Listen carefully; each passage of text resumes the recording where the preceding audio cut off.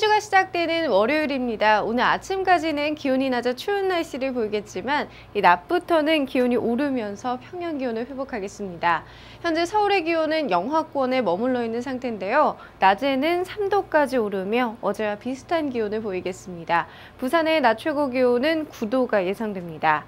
현재 강원 영서 북부 일부 지역에 한파특보가 발효 중인 상태인데요. 낮부터는 날씨가 풀리면서 강원 산간을 제외한 지역의 한파특보도 모두 해제될 가능성이 높겠습니다.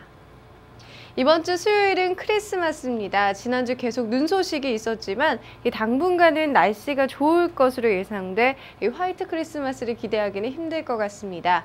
이번 크리스마스에는 날씨도 좋고 또 크게 춥지도 않겠는데요. 때문에 야외 활동하기에도 무난할 것으로 예상됩니다. 목요일에는 눈이나 비가 내리겠고요. 이후로 기온이 떨어지면서 다시 추워지겠습니다. 현재 전국이 가끔 구름 많은 날씨를 보이고 있고요. 일부 지역에서는 옅은 안개나 연무가 낀 곳이 있습니다. 오늘 우리나라는 중국 중부지방에 위치한 고기압의 영향을 받겠습니다. 그럼 자세한 오늘 날씨입니다. 오늘 전국이 가끔 구름 많다가 아침에 점차 맑아지겠습니다. 제주도는 구름이 많겠고요. 오늘 낮까지 산발적으로 눈이 날리거나 빗방울 떨어지는 곳도 있겠습니다. 현재 일부 경남 남해안에서는 건조주의보가 발효 중인데요. 이 대기가 매우 건조하고 또 그 밖의 지역에서도 점차 건조해지고 있습니다. 산불을 포함한 화재가 일어나지 않도록 각별한 주의가 필요하겠습니다. 오늘 낮 최고 기온은 서울 3도, 대전 5도 등으로 어제와 비슷하거나 조금 높겠습니다.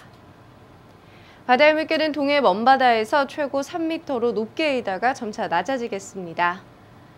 내일 전국이 대체로 맑겠습니다. 동해안은 동풍의 영향을 받아 가끔 구름이 많겠고요. 낮 동안에는 산발적으로 눈이 날리거나 빗방울이 떨어지겠습니다. 제주도에서는 구름 많은 하늘이 예상됩니다. 지금까지 기상정보였습니다.